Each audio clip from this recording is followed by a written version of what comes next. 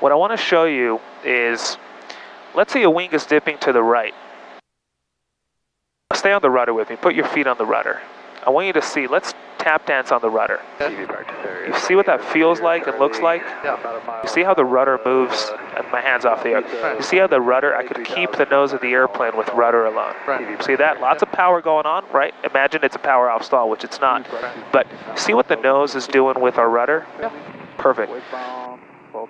In a power on stall, we have a propeller producing power, shooting a bunch of air back towards our what? Our vertical stabilizer, Oh, yeah. right? Uh, our rudder. There's not a propeller shooting a lot of air towards our aileron.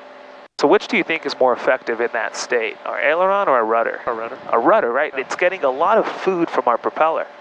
So when it comes to the power on stall, to prevent a wing from dropping one direction or another, remember this. I could keep the nose of the airplane smack straight with my feet. I'm not touching ailer, uh, ailerons at all here. My rudder is very effective. Does that make sense? Yeah. It's the most effective.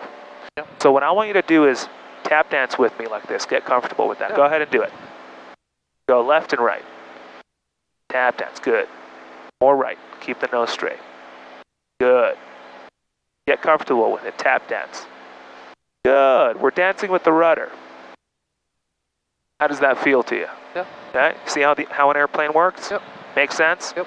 Rudder's very effective. It has a lot of air food coming from the propeller. All right. So I'm back on it with you. Okay.